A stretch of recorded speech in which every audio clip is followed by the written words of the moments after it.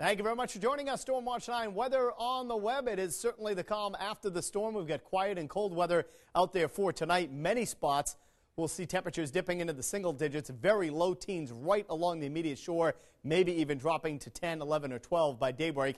Mostly dry weather, however, through the day on Monday, even a good part of Monday night. The exception to that will be late Saturday, mainly towards evening into Saturday night, as a very light band of scattered snow showers rolls in our direction. This system much, much weaker than the nor'easter we had to deal with during the middle part of this week. Cold air penetrating all the way down to the deep south. That means a jet stream flow lining up well to our south as well. And it works well south of the Carolinas and out to sea. That means no big storms around here for the next few days. Just a couple of weak systems darting through. We'll slide south of New Hampshire during the day tomorrow, right on through tomorrow night. The next one behind it catches up to us Saturday towards evening into Saturday night. Maybe a dusting to an inch, possibly up to two in a few isolated spots by Sunday, becoming partly sunshine Monday morning, then the clouds take over, and a good chance of some snow arriving by Tuesday morning, and possibly changing over to a mix or rain. Much more in that system in the coming days.